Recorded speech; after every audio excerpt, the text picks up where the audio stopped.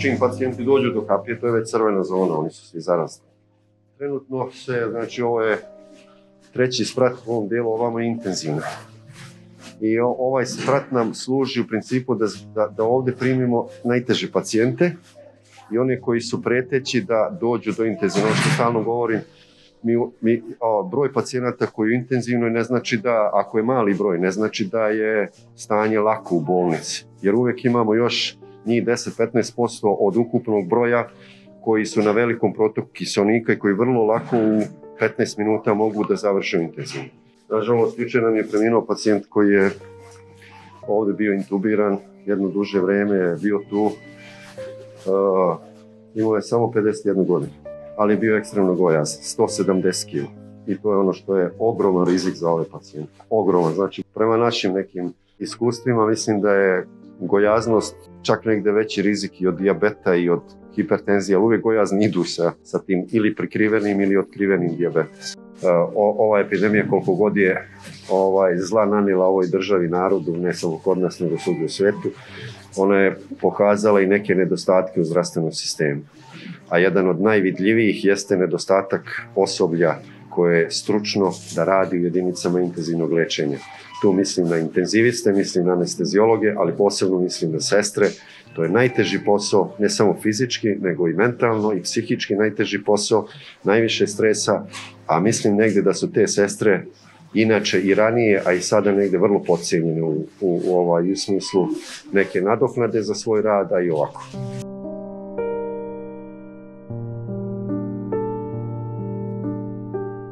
Nalazimo se u intenzivnoj njezi, da. Da, ovo je uh, intenzivna njega, ovo je prva soba gdje se nalazi intubirani pacijent u veoma teškom stanju. Nadamo se, mi se borimo za život 24 sata, ovdje 24 sata ista situacija, nepromijenjena što se tiče rada.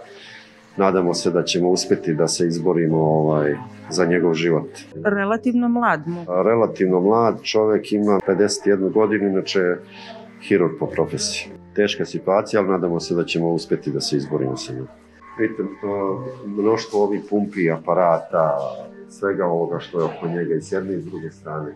To je sve oprema koja je i skupa i sofisticirana i s njom ne može da radi neko ko nije obučen, niti može neko da radi ko je priučen 15 dana i mjesec dana. Za rad u intenzivnoj nezi treba iskustvo od minimum godinu dana nekog da dobro radi u intenzivnoj, neko ko je već lekar minimum godinu dana, a za sestre isto tako minimum godinu dana da rade u intenzivnoj i da možemo da kažemo da su to sestre koje mogu da rade sa ovim aparatima. Svaki od ovih aparata koliko je koristan, koliko je štetan.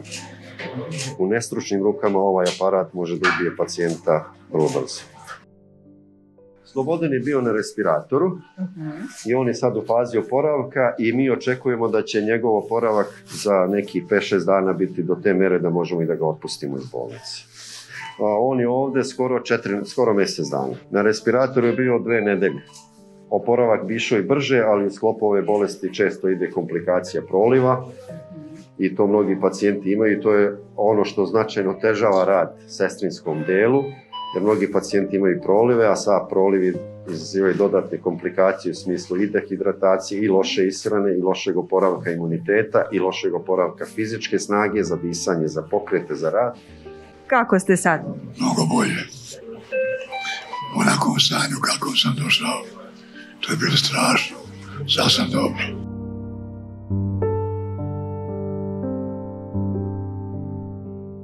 je bilo na 15 litara kiselnika, ali u jednom trenutku ni to nije bilo dovoljno. Došlo je do iznenadnog pogoršanja, morali smo da je primimo intenzivno, stavili smo je na respirator, ono što vidite na licu to je full face maska.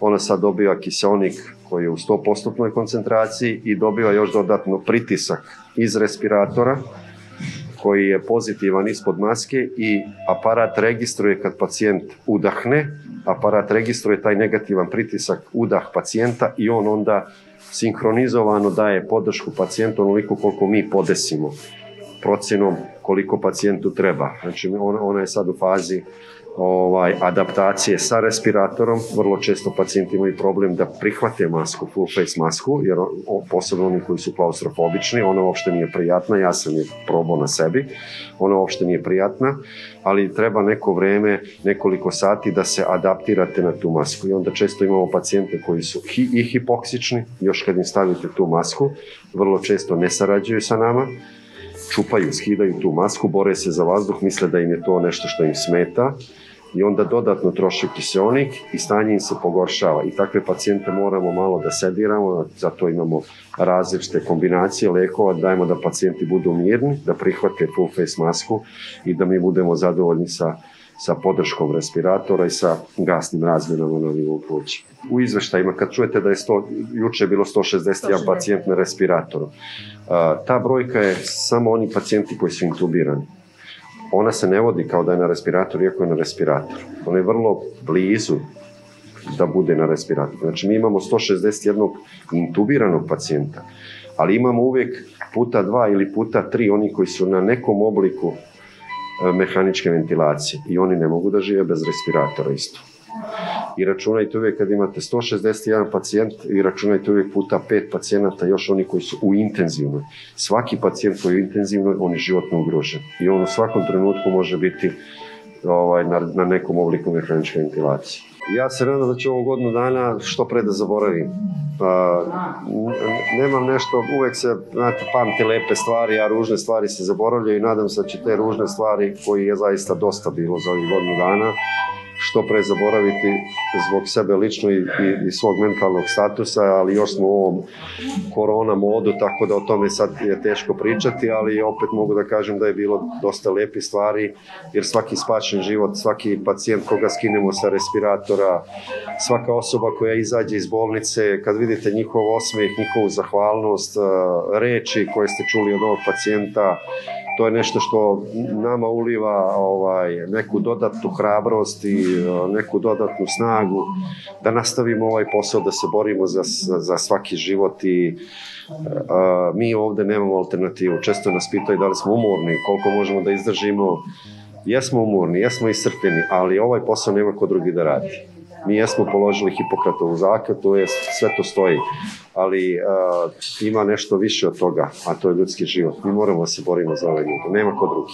Najteži smo kad morate nekom da izjavite saučešće, kad vam umre neko, posebno ako je to neko, taj neko mlada osoba. Ti susreti su uvijek najteži, to je nešto što, na šta koliko god dugo da radimo, ne možemo da se naviknemo.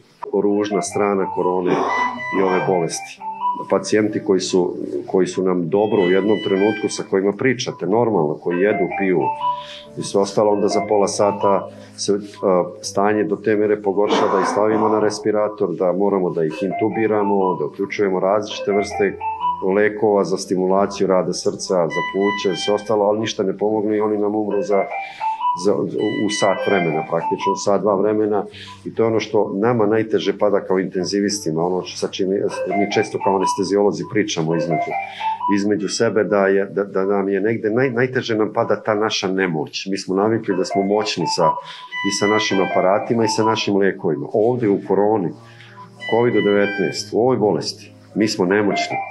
Mi smo nemoćni kod određene grupe pacijenata, mi smo zaista nemoćni, to ono što nas najviše boli. Ja čekaš da mi potpišete da... Prijatelj, ja sam tebe već otpustio. Ovo nam je Bojan koji je bio na respiratoru. Jedva je preživeo. I bio je uplašen kad je došao ovdje, znači, njegov strah, njegov strah ne može da se ovaj opiše. Njegov strah kad je došao ovdje u očima i njegov uh, pogled i kako nas je on pratio sve. Znači, on, on, ne znam da li on mislio da li će, ovaj, šta, šta mi radimo i kako se on osjeća, to možete njega pitate.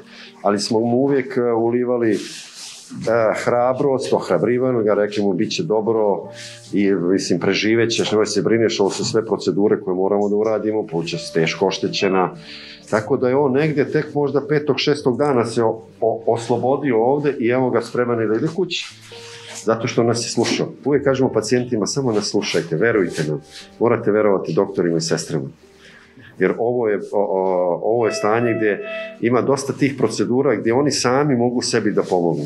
Posebno namještanje u krevetu, ležanje na bokovima, ležanje na trbuhu. To je ono što je, što je jedino dokazano u ovoj bolesti da pomaže ležanje na trbuhu. Te promjene koje se dešavaju na plućima uglavnom zahvataju periferiju i zadnje delove koji su, zadnje donje delove koji su vrlo vitalni za, za, za disanje, za, za razmjenu gasova. Pacijent kad legne na trbuh, gravitacija učini svoje da se ti zadnji delovi pluća polako otvaraju i onda se bolje ventiliraju, a tu je najbolja perfuzija. Najbolji protok krvi je kroz te delove pluća, jer nama treba, uh, u plućima nam treba prostor da se otvori i da se ventilira koji je dobro prokrvljen. Jer tu gdje dolazi kiseonik treba da bude dobro prokrvljeno da bi se razmjena u gasovima dobro obavljala. Prošao sam sve kako je redno trebalo, slušao.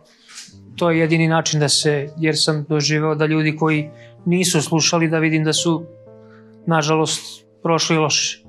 Znači jedini, jedini način je da se ispoštuje procedura redno kako kažu doktori i osoblje. Ništa drugo, bez ikakvog pogovora. Jeste se uplašili? Pa mogu vam reći da nije sve jedno bilo uopšte, naravno kad sam došao, pošto sam malo okasnio, nisam došao na vreme, trebalo je mnogo ranije da dođem, tako da ovaj, nije bilo sve jedno. Šta ste osjećali od simptoma? Pa, izuzetno je, ovaj, prosto osjećate da se gasi organizam, da, da nije, nije ovaj, na sve utiče. Znači od srca do, do vazduha nema, baš je onako neprijatno, praćeno visokom, visokom temperaturom koja se vrlo teško skida i jednostavno čovek vidi da ili levo ili desno i onda je samo do ljudi ovih koji pomažu tu, koji su izuzetno ažurni i daju sve od sebe. I to je to, jedino oni spašavaju, ništa drugo. Ja nisam verovao isto, poštovao sam mere, ali nisam verovao da može tako da baš, naravno kao neko ko je mlađi. Za starije mogu da očekujem da može da bude lošije, ali ja mogu da kažem da je vrlo, vrlo ozbiljno. Iz mog iskustva. Ali dečko koji je bio preko puta mene, mislim da je 40 i neku godinu, on je, nije slušao ništa dva dana i nažalost izašao je kontra pravca. Samo zato što nije. Šta god su mu rekli, on je ne mogu, ne, ja ne mogu, ja nemojte, ja, i ne, oni ne mogu pomoći na silu. Ako oni pokušavaju, a oni, mislim, nema smisla. U ovoj bolnici je lečen i pokojni patrijarh Jerinej. To nam je jedan od, ajde kažem, najtežih e, trenutaka svima nama ovdje. On je e, lečen u ovoj bolnici, u sobi tamo do kraja levo. E, došao je, ajde kažem, u dobrom opštem stanju s obzirom na njegove godine. On je čovjek koji ima 91 godinu sa dosta svoji neki pridruženi bolesti, ali je bio u dobrom opštem stanju, ali je tad tek identifikovan, on je bio PCR pozitivan, ali nije razvio bolest, ali znali smo da će negdje kakva je, odnosno kakva je patofiziologija bolesti, da će se bolest negdje razviti, ako se razvije negdje od 7. 8. pa nadalje dana. Tako se i desilo, nažalost, ali eto tih, mi smo zaista bili privilegovani svi ovde da smo uh, uh, tih barem prvih 7-8 dana koliko je on bio bez tegoba, pa je mogao da priča s nama, bili smo privilegovani da pričamo uopšte s njime i to ću barem ja pamtiti za ceo život, jer uh, pričati, imati priliku da pričate sa takvom osobom je zaista nešto neverovatno. Ta njegova smirenost, blagost, nešto što vam daje dodatnu energiju, pozitivnost, on, on se nije plašio. On je bio potpuno smiren sve vrijeme. On je samo rekao sve Božja volja i ovaj, deco, samo vi radite svoj posao. A bolje, bolje je kad sam stigao, ovaj, poboljšalo se znatno stanje. Ovaj, ovo je meni već 16. dan kako imam COVID-19, bol u leđima, bol u grudima, obostrano upala pluća, temperatura 13 dana neprestano, koja se menjala i varirala vremenom, ali ovaj, sad je bolje dosta.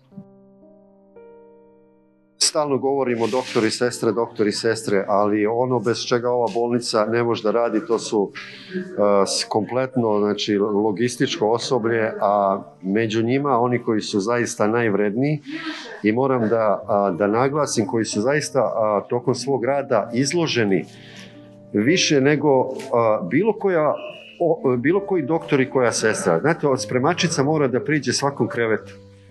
Ona ulazi u intenzivno isto tako kao i doktori koji ulaze. Ona a, prilazi pacijentu, mora da očisti oko kreveta, iznad kreveta, sve to. Znači, oni su izuzetno, izuzetno u svom radu izložene riziku. Šta je ono što te pacijenti obično pitaju i koliko je pacijentima potrebna pomoć psihologa u ovom momentu? Ja, ja moram da priznam da je mnogo više potrebe nego što smo mi očekivali. Uh, Često mi postavljaju neka medicinska, da kažem, pitanja. Moj posao je u stvari da ih nekako opustim, da nekako im pomognem da osveste svoje osjećanja, da je to nešto normalno kao što prolaze u ovoj nenormalnoj situaciji.